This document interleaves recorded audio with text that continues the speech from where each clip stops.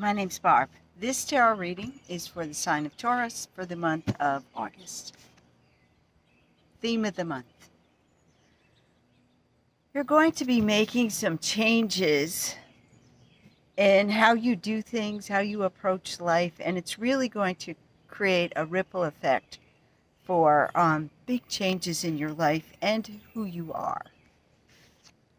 Best attitude to have, always a court card.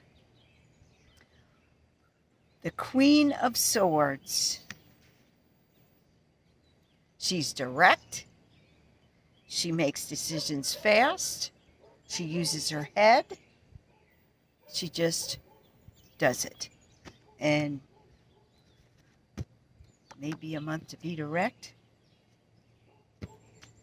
People get over it.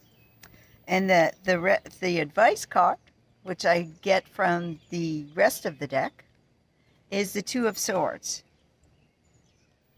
There may be decisions for you to make. Take your time, think it through. You don't have to make a quick decision, even though the Queen does. Just in this instance, the advice is take your time. You don't have to make a choice right away. I hope this is helpful. Have a good week, month.